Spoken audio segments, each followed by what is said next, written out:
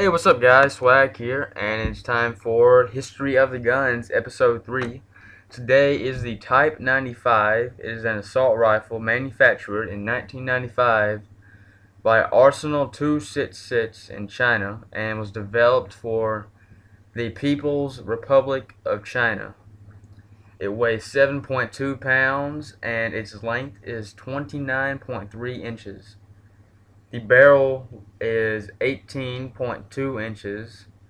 The cartridge shoots 5.8 by 42 millimeter bullets. It is gas operated with a rotating bolt. The rate of fire is 650 rounds per minute. The muzzle velocity is 930 meters per second. And its maximum effectiveness is 600 meters. The feed system is a 30 round magazine or a 75 round drum magazine. Uh, the sights you can put on it is a post front sight and an aperture rear sight. I'm not sure details about those, but those are the sights you put on it. Uh, also a four times telescopic sight, sort of like a variable zoom Call of Duty.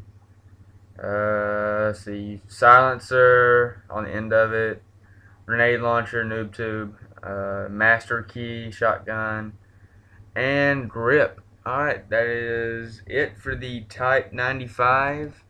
Next week, I think I will be doing the Scar L. That's what, Scar L. So, not next week, tomorrow, tomorrow, Scar L tomorrow. Alright guys, hope you enjoyed. Please leave a like, comment below, and subscribe for more. Swag out.